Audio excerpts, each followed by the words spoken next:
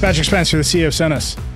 Giles Martin, you're the Senior Vice President of Sound Experience at Sonos. Yeah, it's a short title. Yeah, it Yeah. doesn't. It, it means everything and perhaps nothing. We're going to find out.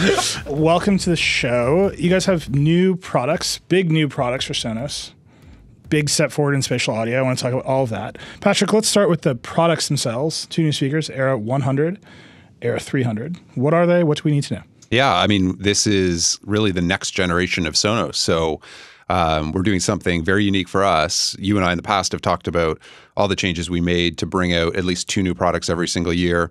We've never brought out two products at the same time, um, and they're from the same family. And we really feel like with Era 300, we've set the standard for out loud spatial audio listening. Um, this is something the team's been working on for three years, uh, toiling away, you know, and, and kind of the industry's been developing along the way to have the content we need to actually bring it all to life, uh, and it's hitting at the perfect time. And then with Era 100, we've really taken our iconic Sonos One and done what I'm very proud of, which is rethink it completely. New hardware, new software, all of it to create something that sounds significantly better um, and really matches the kind of visual ID you would expect out of Sonos in this day and age. And so it is a new era. Um, we're signaling that with the names of the products as well. Uh, we're very excited for customers to be able to experience them. I really want to talk a lot about the Era 300 and with spatial audio, which is potentially revolutionizing the music industry in a variety of ways. But let's start with the Era 100. I think we can kind of understand this product uh, fairly quickly. It sounds great. I listened to it with Giles earlier today. It's a full-on replacement for the Sonos One, as you're saying. Yes. What was the decision for you like to say, okay, this is a product that people like. We sell a lot of them.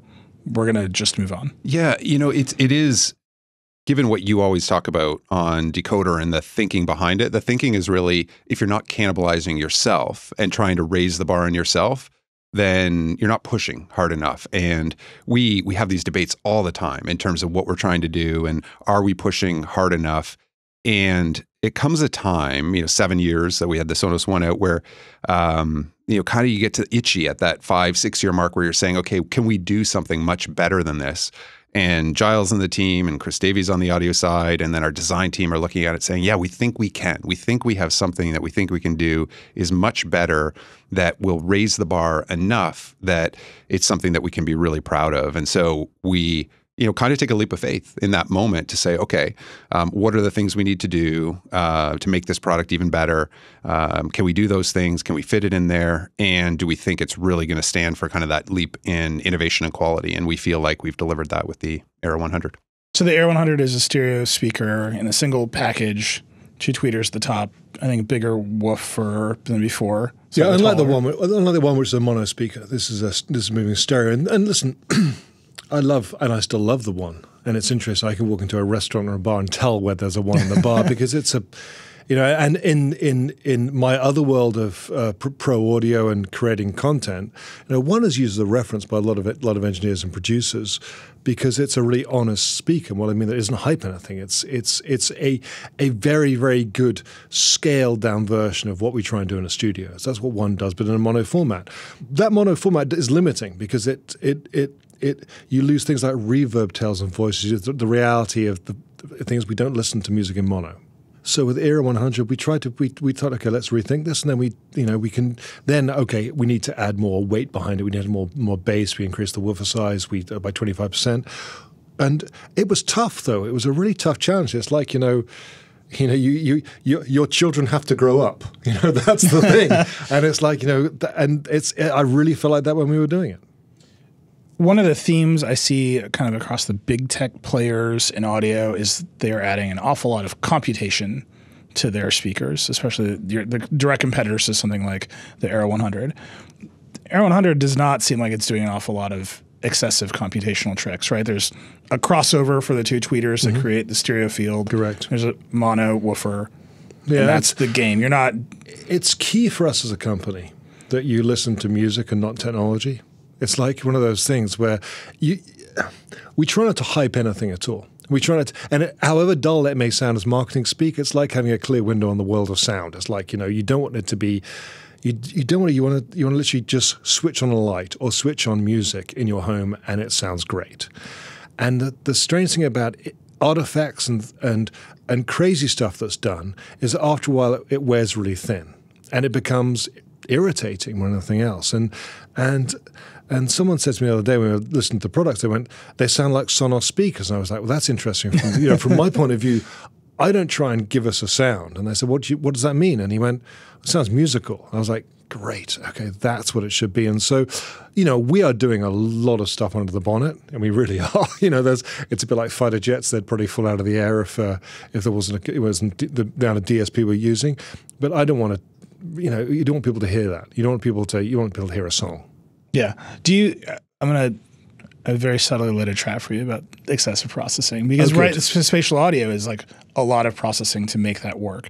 And so when you think about the Era 100, it does not have any spatial features. It doesn't have the height channels. Well, but you're saying there is processing happening inside of it. Yeah, of course, because you know we're, we're doing we, you know for a start we are we're trying to create a bigger sound than the box is. We're trying to defy physics all of the time at Sonos. That's what we're trying to do. Um, we're not doing any tricks with phase, but we are. You know, you, there are.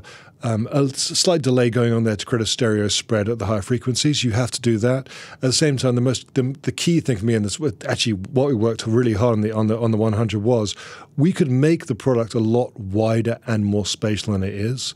But the detriment of that is voices. You know, uh, a, the human voice doesn't sound as good. Yeah. You know, because when you know your listeners listen to music, we mix music in stereo, and equal left and right is mono, and that's generally where the voice lies, and that's the songs you love. If you pull that apart too much, it's it can sound phasey, it can sound weird, and so it's that argument processing over reality. Of course, there's processing, but the key thing is that is it has to sound natural, and that's done by human ear. You know, you can't measure natural. Weirdly enough, things can measure completely flat in a room and then sound strange. I feel like I'm so tempted to just immediately start talking about spatial audio, but I want to finish talking about the Era 100. Yeah. Um, because that, to me, the argument with spatial audio is when it's done incorrectly or done poorly, you actually lose a lot of that impact. You spread everything out to, to Correct. too many channels. Yeah. And everything is and the bit same if you play around with stereo too much. If you like, you know, we don't spatialize stereo.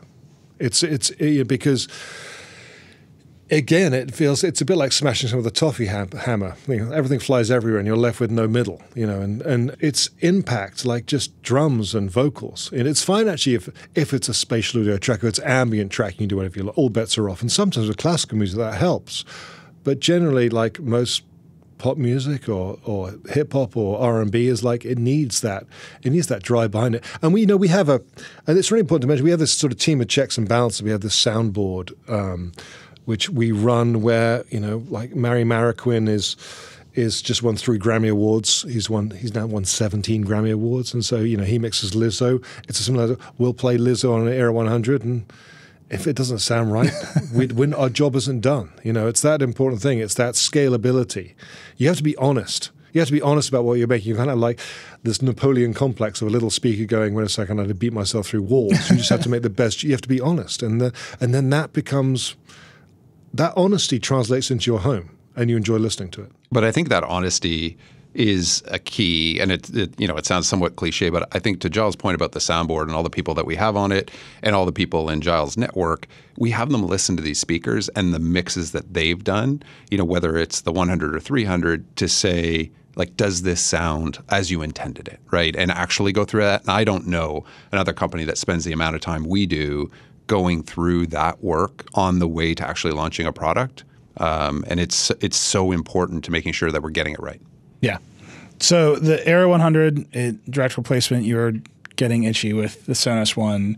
Sonos One very popular. It has multiple configurations. Are you going to do an Era 100 SL without the microphones? You know, we're always considering, um, you know, what customers will want on that front. So we'll see, you know, um, what kind of feedback we get at this point. Are you leaving the One SL in the lineup? We are. Okay, for now. Yeah. And then I noticed we talked about Alexa a bunch of times today. Yeah. Does it support Google Assistant as well? Uh, Google Assistant has changed the way that they're implementing it for third parties, and so um, that's changed. So at this point, it won't support uh, Google Assistant. Um, our existing products that support Google Assistant will continue to, but uh, 100 and 300 will not. Is that because Google made a change, or is that because Google, Google made a ongoing change. litigation no, between you? it, and it Google? has nothing to do with the ongoing litigation. You know, as you and I have talked about before, they, you know, YouTube Music, like all the different aspects, Google Assistant, the teams continue to work pretty constructively. But they did make a change in terms of how they do Google Assistant on third-party products, um, and it's a pretty big engineering lift for us. And, and the reality is, right now, we'd like to see it back on the platform, but um, you know, people are using voice for music, timers, and weather, right? As Yeah. they have for many years, as you know. Uh, and we're well covered with what we have with Sonos Voice Control and Alexa. So we feel pretty good about where we are with these products. Did you assemble a task force to be like, all right, we need Bing to insult people directly from our speakers? Just let it go crazy. ChatGPT is the future. Just let people talk to the AI. We'll, we'll let you sort it all out, Okay. and then we'll figure out how we Every translate that into like, voice do some control. sort of I know, code I red know. exercise. No, no, we will focus on creating great speakers that people can listen to amazing music on. The and, Sonos and let people AI figure assistant that that Yeah, reads no. all of Tumblr and says your music taste is shit is not coming. No, because I there are people that would buy that product specifically. Yeah. There was like this song sucks. Yeah, like, there's a better version of the song. It's the original. You're late. Well, our friends at Spotify did introduce a DJ uh, today, an AI DJ. I don't know if you saw that. So there you, you go. this is the future. is like you start listening to an album and it's like I like the second album better. People, would buy, I know people like my friends would be like, I just want someone to talk to me about music, no matter what it says. I don't have my own opinion. yeah, exactly. That's what they're saying. I want a computer to have my opinion. Yeah, feed in all Yeah. of Pitchfork, Yeah, and then. Pitchfork will tell you whatever you're listening to is Tell a me, six. tell me what I really like. it's like we can, we can go into a very deep conversation about art and anomalies in art about that. Yeah, in and all of those conversations always kind of sound like you're having them with a moody computer anyway. yes, It's the way it yes, goes. that's right. Uh, big focus on sustainability with Mm. the 100 and the 300. Lots of recycled plastic. Yep. Uh, we saw some custom screws today. Yeah. There's more screws instead of glue. 93 Uh, 93 screws in that 100 in the 300. and 300. You're the CEO. When someone says we only use screws instead of glue, also I need to make custom screws with hearts in them specifically. That's more cost. How do you weigh that kind of decision? you know, we're building products for you know the decade, right? As we look at what we're trying to do, um, we think the, the the biggest thing we can do for the environment for our customers is make sure these products last for a really long time. Um, but we're always looking and pushing on what parts can be used from recycled. How do we do all of these things? How do we improve repairability? That's been a huge issue, and so the screws come in um, big when we're thinking about using uh, being able to repair instead of using adhesives and being in situations where we have to throw away product because you just don't want to do that. So what I'm most proud of is we're getting better and better, not just on those fronts, but as well in terms of energy usage, which with each of the products. Um, but but I always feel like at the core, the most important thing is are we building something that can you know reasonably last in someone's house for a decade, right? And I think we do that better than anybody else out there. Uh, and we'll, we will continue to push on what other parts can come from um, you know recycled materials and all of those things. How do we get better on repairability? We've made a huge leap with Era, which is why we've decided like to call this a whole new line. Um, proud of that, and we're going to keep working on it. And it, it all makes sense when you're playing the long game from a cost and investment perspective because I feel like you get more than that back over time in customer loyalty and everything else that we're trying to build. Speakers are one of those products that sit around people's houses for, for decades, if not more. Yeah. Um, obviously, Sonos has had a number of different approaches to upgrading products, trading products in. This is something you can take apart. Do you have a thought? One day, maybe we'll just replace the sort of computer elements of these speakers and leave the drivers alone. I have a real hope that one day that's a possibility. Um, people call me crazy for doing it. Giles might even right now, but I, I do think that's a potential possibility in the future, and I'd love to see something like that, and I'd love to see us pushing on how to how to be that company. Yeah. From your perspective on the audio front, right? A great pair of vintage speakers and a stereo setup with an all like people worship at the altar. I'm one of these people. I'm just going to admit it. But they last forever, and the sound there is lasting in a way that some people would argue cannot be defeated. A small computer with a bunch of radios in it that happens to have a digital amplifier and a driver. Do you think that can be as long lasting? It, it's based on CPU and not. I mean, I would argue that people blow blow old speakers all the time. So, Yeah. uh, and I've been in situations where I've been in very high end audio places where they playback mix that I've done, and I've gone, your left channel's a bit weird, and they go, "Our valve's just gone." Sorry. so I, there, there's a lot of ways of looking at this. There Yeah. really is. Um, yeah, I think that. I think we proved actually. You know, Rick Rubin had a, an old Play Five outside his porch for ten years. you know, in the rain. Yeah. and it lasted. And that's not even. We didn't I think the last time Patrick was here, I was like, "Why don't you make an outdoor speaker?" And he's like, "I know a famous producer had to play five. So thank you for outing him. Oh yeah, It's great. I'm not getting done. Actually, I, went, I did his podcast recently. I don't get done. I'll be okay. Um, no, he's a good mate. Uh, so yeah, I think that I think I love the idea and the, the ethos of Sonos. I mean, it's, it's one of those things that that you know I got involved in Sonos nine years ago now because they were the first company that asked me what was wrong about the sound of the speaker as opposed to tell us how great we are. And then on top of that, I love the ethos of we we want these products to last um, because why not? We're not asking you to replace them. We're asking you to put more in your more into Yeah. your your house. That's the thing. And it's expensive for us to do that. It's expensive for us for a number of different reasons for us to keep products in the marketplace. But it's the right thing to do. And I think that I think there'll always be a place for um, you know, your the the listen, I have a whole load of speakers. You know, I have a full studio, so I have Abbey Road to use. Um, I think there's a place for things, but just as far as that ability to go think of a song and thinking of a song to listening to it, to you up with music or have music in your house or or or gathering your mates and listening to Sonos is just brilliant. And that's what everyone says to me. And from my own experience before I got sent a play three and a play five, I met a guy and I was in the studios in LA and they sent it back sent it to my house in London. I you know, my wife was happy for me to have these speakers in the home, which is very rare. Well, my dad, who was George Martin's favorite record producer, he had no, we had no speakers in there. He used to listen to mixes in the car. you know, my mum, my mum, you know, and suddenly we had music in our house, and that's the thing is that there's two different ways, and I think everything is. There's no better or worse. It's like vinyl or digital. What's your choice? It's like just enjoy music. Push towards lossless. I know we're going to talk about spatial, but lossless and spatial seem to have come along at the same time, at least for the major streaming services. Can you hear the difference between 192 and lossless on the Era 100? No, on Era 100, no. Uh, but it's not that type of unit. It's not like you know. It's not a reference. Uh, we're not trying to build reference speakers. We're trying to build. Again, it's like we're trying to build the best possible scenario so you can enjoy all the music in the home. And there's an interesting point about this because, you know, I have, you know, a quarter of a million dollar setup in my studios.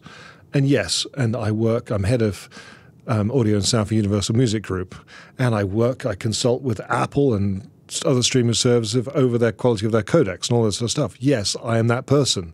However, there's a point where shouldn't you just enjoy a song? Do you know what I mean? She Yeah. just not, and people and people talk about numbers all the time. What do you prefer, one nine two or ninety six, or what the? It's like wait a second. It's, I'm involved in this. It's just, you know, and and I can hear the difference between certain things. And we've done tests, and we've sent, and we've done tests with Sonos because we're really interested in this. This is super interesting because we have to make decisions based on this with pros like mastering engineers.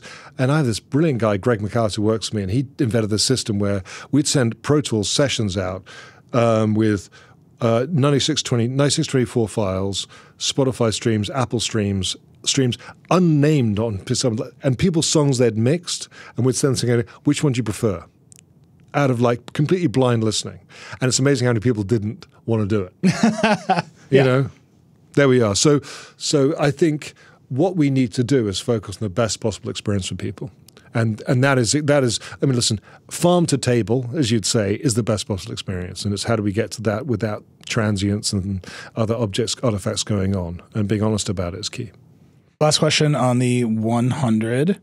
Uh, there's no height channels. There's no spatial push with the 100. You can still use them as rear. Re, you can still use them as rears. But why no height channels? Why no spatial on the 100? You know, it- we're in the early days of spatial for sure. We wanted to um, really make sure that as we bring um, a product to the world that delivers the best, you know, experience and sets the bar, we wanted to start with the 300. And we think they're, you know, to Giles' point of like listening to music and people listening to music, and um, that there's room for uh, stereo speakers as well. So you'll see we keep the five in the portfolio as well for people that want to enjoy that. And we're in a we're in a transition period to me that's similar to the mono to stereo transition period where there's a lot of emotional energy about that transition. Uh, it took actually decades if you look back on it.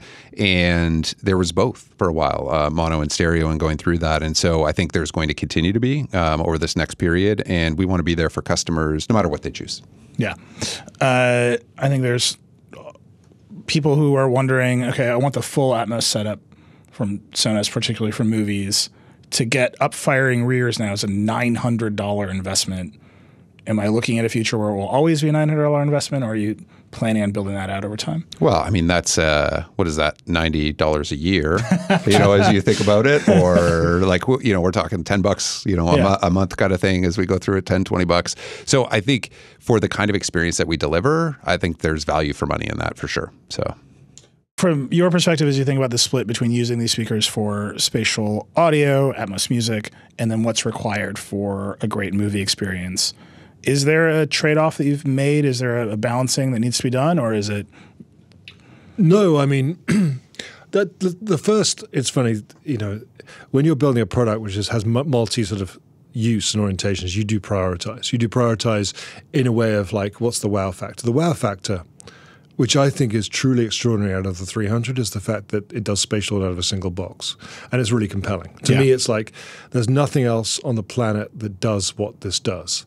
I'm saying this as a creator and other creators as well. I mean, I'll, I I say to people, and I'm I'm not really Mr. Jargon at all. I'm pretty honest, and I love music. I love sound. I love you know. I'm passionate, and I say to people, I mean, I, I was at CES. I bumped into some producer engineers. I went, it really is amazing. And like they come to my suite and they go, oh my god, this really is amazing. the guitar's like over by at a bar area because that's the way I roll. It's over by the bar area. Like, I'm gonna, you know, that's where the guitars are. And it's like I told you, and they went, yeah, but you know, we didn't. And so that's so the single boxing was great, and then if there's two of them, it'll do stereo, pure stereo, and Dolby Atmos out of stereo. Mm-hmm. Interesting enough, the way we think about it doing stereo stereo Atmos or two speakers creating Atmos is creating front firing height, sides, rears. And if you turn those around the other way, that's your home theater setup. You're adding, you're adding. So, so it's kind of the same, the same problem, if you like it, an audio perspective, or the same solution is probably a better way of putting it. So that's the way we work, and there is an additive and compelling um, drive behind doing this. It's it's you'd be surprised. I mean, I started working in spatial audio a long time ago and did I think Sgt. Pepper's the Beatles Sgt. Pepper's album was the first album done in spatial audio, which I mixed.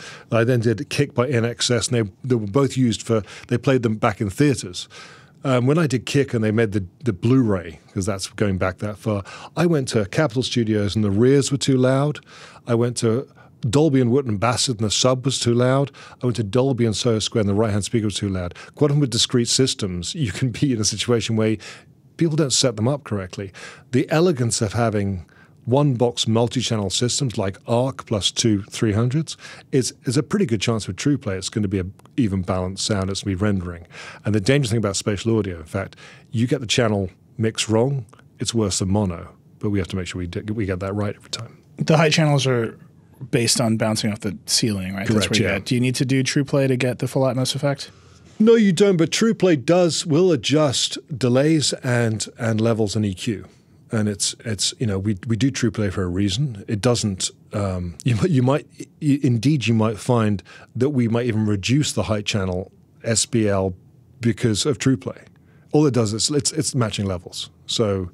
You know, it's not like your heights won't. It's not as though your heights won't work if you don't use TruePlay, but um, your your balance will improve and your sound will improve if you do use it.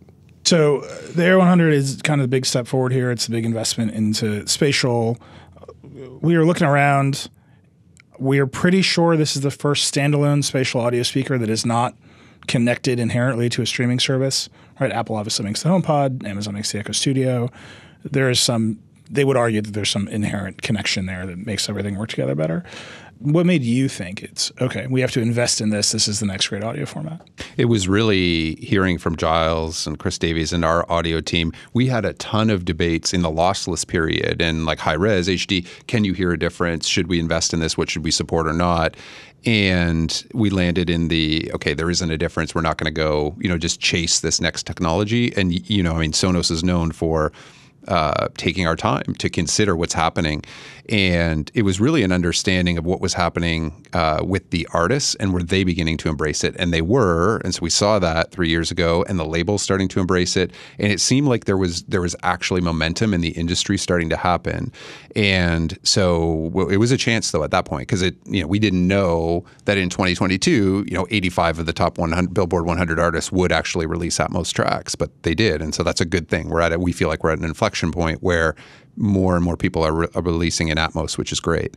Um, but that was the bet that we basically made, and it was on the back of Giles and Chris and the team basically saying, "No, no, this is special, and this is one that." Mimics that jump from you know mono to stereo and this is the next big one that artists are actually embracing. And so you know for us then it's like okay we got to be there and we've got to do this right. And so that took some time to go uh, build as well and do it right. But you know if we're going to do it we're going to try and really set the bar and i feel like we have with this product. You're launching with support for uh, spatial from two services amazon music hd apple music. They are not quite the same right? There are some format differences between how the services deliver spatial audio. That seems weird to me. What's going on there? It's not down to us. you know, if it was, it wouldn't be the same. And it's not down to the music industry because, like, bearing in mind that I have this weird position where I am, you know, head of audio and sound for both Universal and Sonos. So I, am at the uh, the beginning of the source, yeah, and at the end of the source, which is kind of useful and actually beneficial to you know, when Universal approached me after Sonos, Universal's been three years, four years, and I said, listen, I, you know, I do, and I'm loyal to Sonos. I went, no, I think we think it's a good thing, and you know, we work we uh, work together because you know I knew at the at the top of the source, the stream, that this this app Dolby Atmos, the spatial audio was coming down the pipe. So I'm like going, we need to embrace this. The way that Amazon or Apple deal with this is not down to us. It's not down to Universal either. It's down to down to them. And you know, we just have to we we have to partner with people, and we have to be Switzerland. You know, if that's a very old reference, as far as as far as this is important to us that we provide an ecosystem that the that the music lover just I want to use this service, so I should listen to it. But as a music lover, I know now when I'm listening to Apple okay, there's an Atmos logo here. These often sound better than the generic spatial audio logo. And this whole thing sounds different than what Amazon is doing.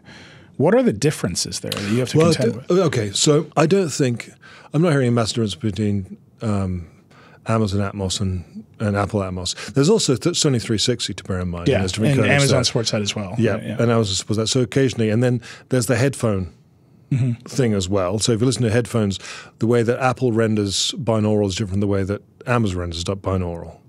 So it becomes confusing. When you listen to an Era 300, it'll be the same. You know, it's not the the, the, not, the Atmos mix. Yeah. So so so if you think about it, there is a there, there's a different I, I, I was surprised. I, I, created this this love show in, in Vegas with seven thousand speakers in a room, which is essentially the sort of template of Dolby Atmos. We have obviously a lot of height channels because it's in the round. Um, I never thought, and I made the this 5.1 album, which I thought was going to be the future of audio, but then I could never listen to it on a system because, I, you know, people don't have 5.1 systems at that at that stage. I never thought the first steps in spatial audio would be headphones. Yeah. What's interesting in headphones actually is that it has become exponentially better as an experience really, really quickly. I mean, it was I thought it was unlistenable about three years ago, and now Same. it's pretty good.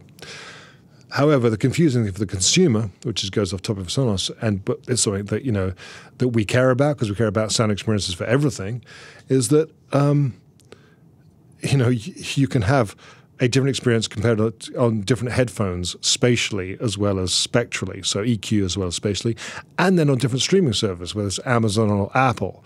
And in the Universal group itself, speaking about that, it's one of the things we're working with both Apple and Amazon and manufacturers on unifying that experience because it's bad for the artist more than anything else. It's, and it's and it's the feedback we get from artists, whether it's like Mick Jagger or Lizzo or whoever going, well, I'm not sure I want to do this because I don't. You lose control. It's like whack a mole. Suddenly I've put in my music. I don't, and so you need that that that stability to the to the ecosystem in order to make it work.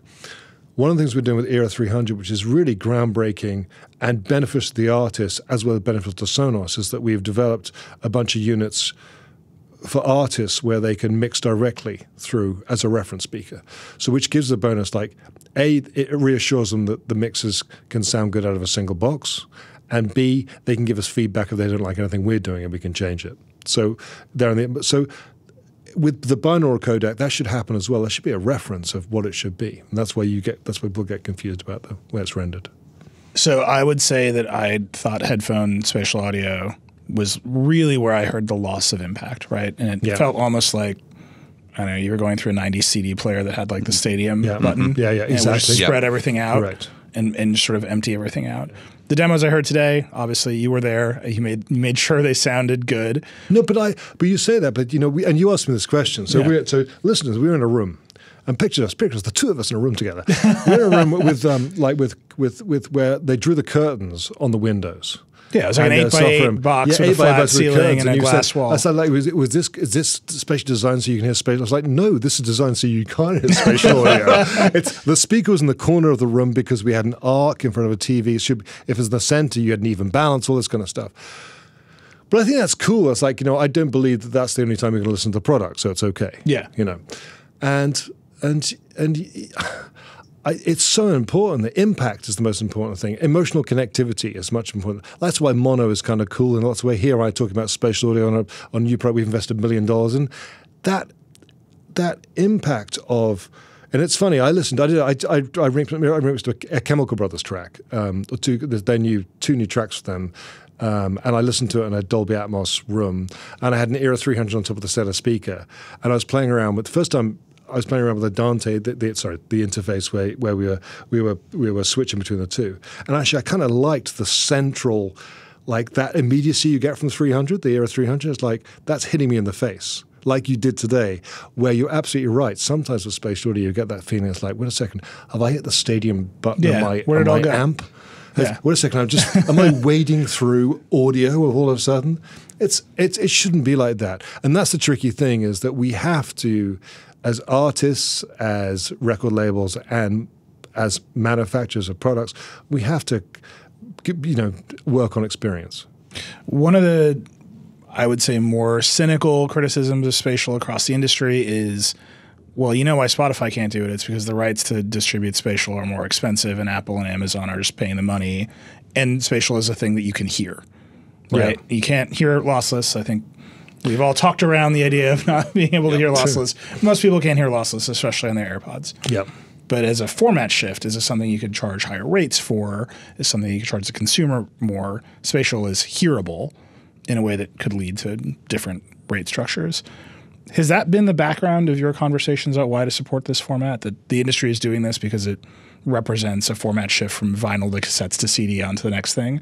Or is it there's actually something very meaningful here that improves the experience? It start it started from the experience, from you know wh- kind of where we are, because you know for us it's not you know we're not involved in any of that part of it, right? And so Well, from from our perspective, yeah, partially, but that's not how he's paid. You know, fundamentally. he is. I mean, God, I wish I was. you want to say, can you get? Well, I'm just wondering. If, I mean, you, if you can renegotiate my consultancy with Universal, I'd be delighted. No, but it's it's about Call no, him up. Where's Lucian? I- yeah, it's, this. yeah. Um, it's a really valid point, but I think you know you you know. It, I base things. It's funny when I way back seven years ago when I mixed Sergeant Pepper and Spatial Audio. This man of mine, David Arnold, phoned me up and said he went to a room and listened to it. and He went, "It was the single most emotional audio experience he'd had." I was like, "Wow, thanks, David," and I then paid him. But the point is, is that you can really touch. What's what's you can travel through space and time. I know that sounds crazy, but like I did this Get Back thing with Peter Jackson last year, this Get Back series, and we did that in spatial. But then I mixed Let It Be, and I can put the room that Paul McCartney was in where he sang the piano mm-hmm. on the walls of your house. Yeah. So he is in the room with you. Now, you can talk about finance and ecosystems and things. That's why I do it.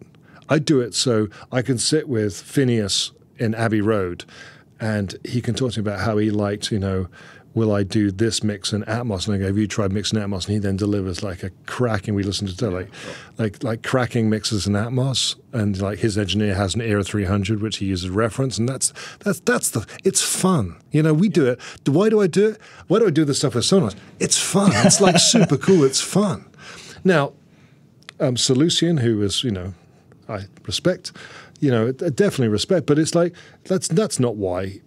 That's not why I'd sit with Patrick and go, listen, Patrick, we need to look at this because, and then, you know, Patrick literally sat in the room we were sitting in today and go, check this out. And it's like, and we, you know, we with your daughter, and it's like, check this out. It's like, this is, you, you Amazing. You're not listening to cash registers, you listen to music. Some people think they're listening to cash registers. yeah, they, well, they, they're my friends. uh, it's weird that you can't. You mentioned Blu-ray as a spatial distribution format. I would say that is not a mainstream distribution format. Yeah. I'm like very careful. Like I'm in room with you two and like a bunch of Verge nerds. There's a lot of Blu-ray players I did, in a I small listen. vicinity. Yeah, I, here. I, well, listen, Yes, there listen, is. The, Yeah. the question I got today from someone quite angry was like, why do you not release Revolver in Atmos on Blu-ray? I- you have to understand, like our producers are wanting to, like Andrew They- wants they- to know they, the answer to that they, question. they, he wants to know the answer to this question. Yes, we, we might do. Uh, it's not a mainstream format, except for this room. It's weird that you can't own a spatial audio track. You can't buy one from Apple. You can't buy one from Amazon. It's all streaming all the time, right? Do you- is that just the nature of consumer I consumer think you preferences? can. I think you can. The Blu- Blu-rays are released. okay, so. Blu-ray is your answer. Yeah, yeah. I mean, I, what- how else? How else would you like to own it? I would like to download a file. Like the- ah. it's, download. there's something there's something Yeah. underneath all of this, right? Which is like as part of a consumer experience shift, there's a business model shift. There is a an ownership shift. There's a Yep. underlying bet on streaming. And to me, you know, like I like to have my music. I'm serious about it. And there's just a there's a weirdness where it's like I'm going to invest in this product from Sonos, and to get the most out of it, I have to pay Apple or Amazon for the rest of my life in order to get the most value out of this product. And that just seems it's I don't think it's in your control, but, it seems like it's you- part I of the think you- change I here. think you'd argue the same thing about television. yeah. You know, in essence, like, what if I want to watch that Well, movie? you're the one bringing up Blu-rays. Hey, you brought up Blu-ray first, Mr. Blu-ray guy. no, I think that's. I mean, that is the that is the the the nature of the beast. Now, Yeah. of course, like you know, it's not down to us. Mm-hmm. He says, now talking on behalf of Sonos, which I am. the, I really lured you in here to, to put you in like an existential crisis. Yeah, this is the welcome to my life. Luckily, my family's standing by me at this difficult time. um, no, it's it's it's not down to it's not down to us. We we deliver. You know, I like that analogy of like you know the window in the world of sound. We deliver whatever's coming through. And now, if you someone wants to download it, I think you can. I mean, you can download HD tracks. I think maybe you you know. I'm sure it's funny. I'm sure that there'll be a stage you can download Atmos Yeah, tracks. I, I would think so too. But it, it is an interesting point but to I- think about, right? And I don't really that's. A, seen I don't think Yeah. that's a. I don't think that. Listen, going back to the previous conversation, Your Honour, about about financial services, I'm Yeah. sure that if there's a like HD Tracks, Universal. You know, we, speaking as Universal, would go, let's do a deal where you, we're providing downloadable Atmos files for a subscription fee and you can download them. That's not. I don't think that's a. That's not a conversation we've. Then that we have to work out the ecosystem of storage. Well, it's, and it's how we- Sonos and- started as a literal client yeah, server right. model. Yeah. Yeah, for right? the So download. There's a You're long right. history here. Right. And then we'd Yeah. have to work out a system of, I mean, open a, a can of worms for us, thank you to ask the question, of like storage and then playing back from a library. So, which actually we can do because we, we test files that way. But yeah. Uh, from your perspective, right? You you do you Sonos runs a radio service. You've thought about recurring revenue models and different kinds of subscriptions. Is this something that you would light up as well? Okay, we're gonna have a spatial service, or gonna need to invest in spatial versions of the radio service. Uh, absolutely. Um, you know, I, I think we want to keep making sure that Sonos Radio is there in terms of the best quality. We have the HD service today, so we want to make sure that we're there, and so um, that's something we're definitely focused on for the future. Do you think the Era 300 as a new product for Sonos is going to increase the number of spatial audio listeners, or do you think it's going to capture a rising trend of people using spatial in their headphones?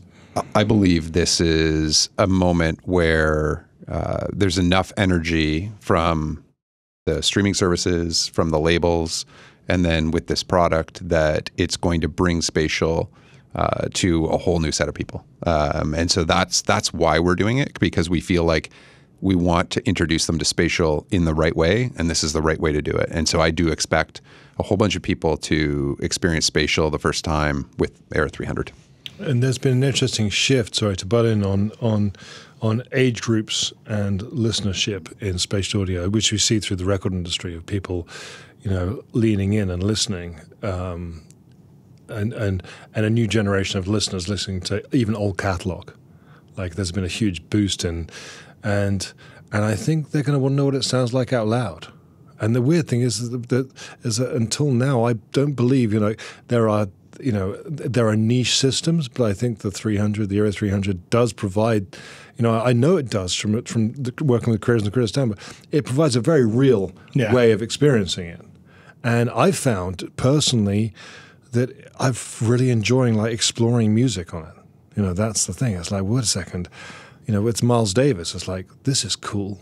It's like he's in my room. I mean, you know, I'm not sure I want Miles Davis in my room, you know, for a long period of time. It's kind of crazy, but it's like this is great. You know, That- I'm excited for our headline to be Giles Martin calls HomePod a niche system. That's going to be great.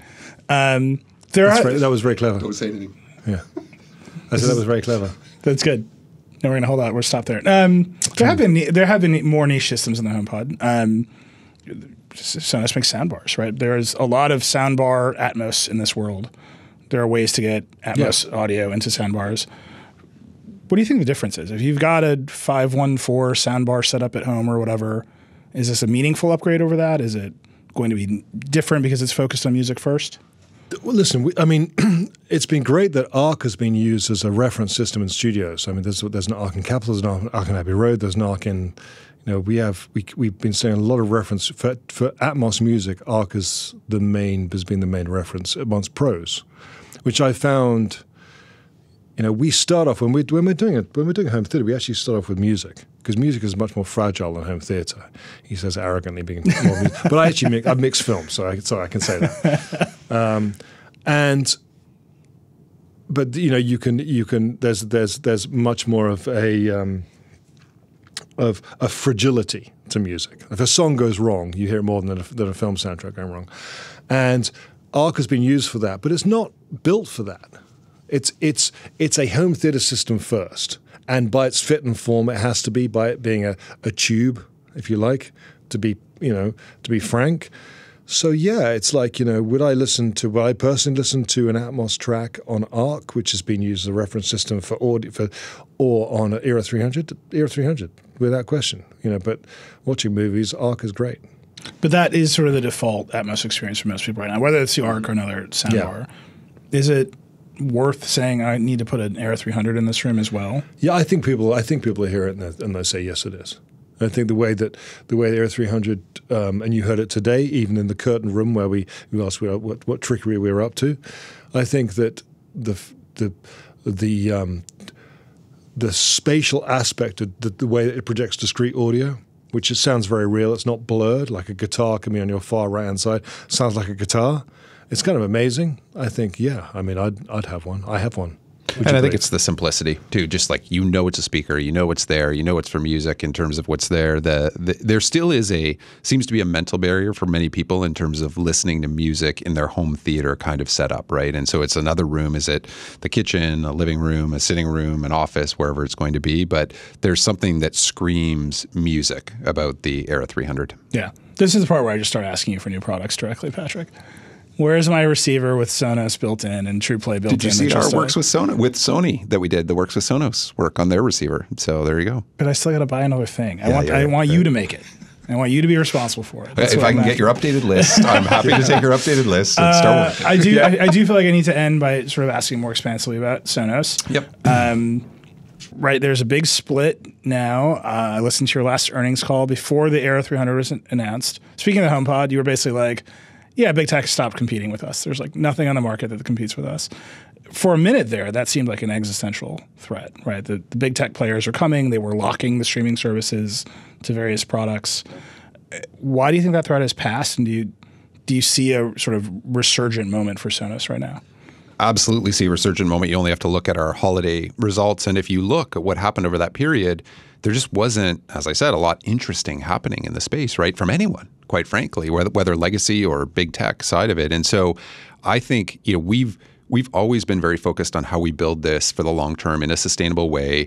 We didn't get caught up in some of the hype around you know voice going to be voice is going to be the next you know mobile operating system, ChatGPT all of these speakers, things, man, right? gotta do it. Exactly. And I think I think we live in a day and age where very quickly people's attention turn to the new new thing. We get all fired up about it. It dominates the headlines for three six months. You know, I mean, whether it's voice or whether it's crypto or whether it's Web three or whether it's now Bitcoin's AI on the speakers. right? And and so taking when any we don't, and and we we don't, we try to be, we try to think about what do these things mean for consumers as you think about a you know a decade long period, and we continue to innovate in terms of what you see with the Era 300 and the Era 100, but products that are going to last for a long time. And it's never it's never with an ulterior motive of trying to capture your data or sell you another service or all of these things. And so I think our you know clarity of what we do and why we do it, you know, has helped serve us well in competing with you know strong legacy audio brands that we had to come from nowhere to um, you know be in the position we are today.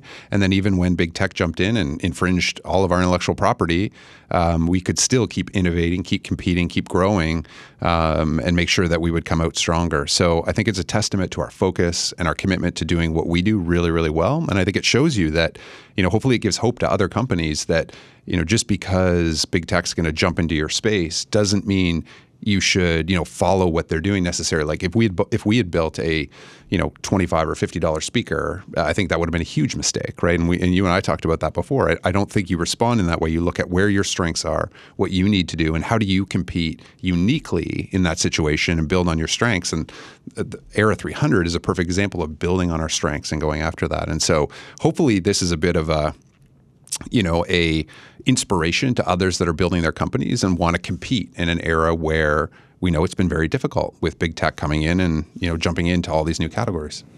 The last time I spoke to you, you did not have the head of sound experience. You had your lawyer. You had your general counsel with that's you, uh, Yeah. and we talked about Yeah. the big tech Yeah. lawsuit. Thank God it wasn't me, is all I can say. I think honestly, you guys should switch spots. yeah, yeah, It's that's one of these- one He's great on sound. But Eddie is, Eddie is, Eddie is like he's like, way when I did love. Yeah. Um, how many speakers has the lawyer put up before? Is it seven thousand? Yeah. Uh, but no, how how is the Google lawsuit going? Are you closer to a resolution? We saw the antitrust bills in Congress sort of come to nothing. Yeah. What's going on there? You know, um, so uh, the spring we have the Northern District case, you know, happening, and so we'll see how that all plays out. In the fall, we have the Southern District case, which is a uh, the federal circuit off the back of the ITC um, that we won very handily. So these things continue to progress through the courts. Uh, we're ten for ten against Google in terms of their. Frivolous actions against us um, to distract and uh, make us spend you know money. Um, so we feel good about where we stand uh, today, and we're going to keep fighting for our intellectual property. And you know, um, if people infringe it. Um, we're going to work with them uh, first, but if they, you know, don't come to the table as Google didn't, then we will take it to the courts. And and we, you know, are in a position, thankfully, because of a lot of hard work and and everybody's efforts, where we are in control of our own destiny and we can do that. And I feel that it's important for all the inventors at Sonos, but I also feel it's important for society that we stand up in these situations and say, no, you can't go and infringe what somebody else does. And so um, I have faith that the you know the courts will ultimately uh, help us and will prevail. So. across the spectrum of big tech, it's actually kind of inconsistent how they're supporting this next standard. Apple and Amazon are doing it. Google is not doing it. Spotify, I think, most notably, is not supporting it yet for any number of reasons. They actually announced like Hi-Fi two years ago today on the day that we're talking, and it's come to nothing. Are those conversations you're having like, hey, we're going ahead with spatial audio. This is the future of music. Are you coming along for the ride, or are they just missing out? We, we've definitely been out there um, talking to all of the streaming services, uh, trying to rally everyone around this because we believe it will be the future. Um, and people just work on, you know, they have their own roadmaps and timelines and strategic priorities and all of those things. But make no mistake, we've been out there absolutely letting them know Era 300 is coming, trying to get um, their support, make sure we're all lined up. So, yeah, we'll keep doing that. We'll keep doing You know, that. and, and and and I think again, experience and and and consumer reaction will will will decide as well. I mean, also, you know, automotive, which you know is is is becoming bigger in spatial audio, and I think Did you see the Mercedes E-Class announced today with Yeah, built-in spatial for Apple Music? one. Did you did you do the TikTok camera? I didn't do the TikTok camera. So it has a selfie camera inside of it. You make TikToks while the car drives itself. This is the entire future of all media. Is my is my feeling. this is this is becoming desperate. yeah. like the headline was like supports Atmos from Apple Music, and the sub headline was selfie camera for TikToks, and I was like, we should flip those around. Yeah, yeah. We are we are not putting a selfie camera for TikTok in any No, of we our are No, we are yet. not. Um, but, you, but you think it's coming to cars, right? I mean, I- every car has It had is. sort of like Yeah. a fake And, well, mixer. and I in think it. again the experience has to be good. You know, Yeah. that's it. It's like, and that's the thing about spatial is that you know if you if it's done right, which I think we've done, then it's a really compelling. It's a really compelling experience, and and I think companies will get it right, not just us, and that will then shift the um, consumer experience, and therefore that will influence people like uh, like Spotify will then you know have to come to the table. Do you think there's going to be a wave of overly aggressive Atmos mixes in this period? Because that's what I'm. That's what I hear. aggressive Atmos mixes, like you know, people throwing things at studio walls and stuff Yeah, like that. just like the guitars are over by the bar for I no think- reason. Well, it's interesting because in lockdown, um, I was sort of overseeing spatial audio for and quality control with a, with a team of like 50 engineers that were, you know, it was it was like mixing, mixing, mixing, mixing, and yeah, I mean, there were times where it was just like, it's like early stereo. You know, early stereo was crazy, and absolutely, I think it's settled down. You know, you know. Um, I'm hearing people do mixes now, which are just truly outstanding and not advanced as far as spatial goes. They just sound good, and that's the point. You know, okay. You, you, I mean, I know from experience. If, I mean, I've just done, you know, a whole load of big artists in Atmos. Something like the Stones or the Beatles. You know, in the main, the Rolling Stones, you, you don't, Angie, you don't want things flying around your head. It's like acoustic guitar, strings, and drums and bass and vocal. Chemical Brothers, you want things flying around your head and going through you and hitting you in the face and all that sort of stuff. So I think it's it's music dependent, and that's the great thing about building like an Era 300 is that then you should then have that product that realizes that in your space. So, for instance, I can put Paul McCartney back in Abbey Road, singing in Abbey Road, and the walls of Road becomes the wall, walls of your home. That's super exciting. That's like really compelling. The Chemical Brothers, you know, you're you're, you're at Coachella or whatever. It's you know. So I just think, and I think I think that's just one creator. There are people who are doing amazing things, spatial audio. And you talk to creators. We did a we did a panel in Santa Barbara with a bunch of creators. It was really interesting. And like Manny Marroquin, who mixes just about everything now, he was like talking about how it freed him up, how spatial audio frees him up to thinking about he's you know he has to put you know mixing Lizzo or something like that. He's having to put everything in a, into speakers, and now he can open it out, and we just have to represent that in the home. I was definitely complaining about spatial with somebody who knows, and they said, "What are you doing? Listen to Tiesto." And I listened to Tiesto. I thought this would be amazing if I was on drugs, and that's like the highlight. I was Yeah. not yet on drugs. Yeah. Yet.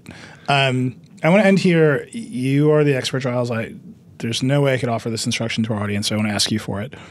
We're about to come into a wave of hype around spatial audio, right? This is, I would say, the Era 100 is the the tip of the iceberg in terms of product launches, in terms of hype around this stuff, in terms of listening at home on not a soundbar. What should people be listening for? How do you listen? How do you listen intelligently to a spatial mix to know if it's any that's a- good? it's a really because I think right now everything is just like, what if it was all around you? And I, that doesn't that doesn't seem like the right answer. Listen to your heart, is what I would say. Right, we're done here. It's No, you know what? You know what? You can dismiss that, but like you can sit there. But uh, honestly, it's like people. It's, and it's and this is from someone who has to analyze sound and like I have all of this opinion. There's nothing better than someone putting on music and you being with a friend and listening to it. And it's not a question. So in spatial audio, you can close your eyes and you can you can think about where everything is. Think about how your room. Don't think about, and this is what I love. Don't think about the speaker you're listening to. Think about the song you're listening to. And technically, for a bunch of different reasons, we can achieve that in the artist space and the product space a lot better with spatial audio because we can project sound and because we have channels of projection. You know, spatial audio is multi-channel, stereo is two-channel, mono is one channel. We have this channel cam where we can actually project color on the walls of your home, and that's what you listen to. Listen to um, but above all else, just see whether you enjoy it, see whether you dig it, and that's the thing. And it's really interesting. Sometimes you listen to a track and you go, you know, it, this isn't very spatial, but I'm enjoying it. It doesn't have to be wide for you to enjoy it. Yeah, I think that's great. What's your favorite spatial track? Uh, the one I heard from Finneas today is oh my gosh was incredible. What I don't know what the name of it is, but uh, it was it's a new one that Finneas just did, and it is oh you've got to hear it because you feel it. I think that's the thing to me is you absolutely feel it. Concert five years from now. Concert five years from now, you feel it when you're there, and it, it feels like you're somewhere else. Which uh, you know I, I'm I've been in tech long enough to be cynical about all these things, and I really do think Giles nailed it with "Do you feel it?" fundamentally, and when you close your eyes, what does that feel like? And uh, you know, for what we do, that's about as good as it gets. Well, Patrick Giles, thank you so much for joining us today. This is great. I could probably talk to you about spatial audio for another five hours. Well, I can come back later on. Yeah. Between the Beatles fans losing their Yeah. minds and your comms people losing their minds, it is time to go. I'll get the Blu-rays done, guys. Okay, I'll get them. I'll make them for you. You can just have Blu-rays from now on. Amazing. That was great. Thank you.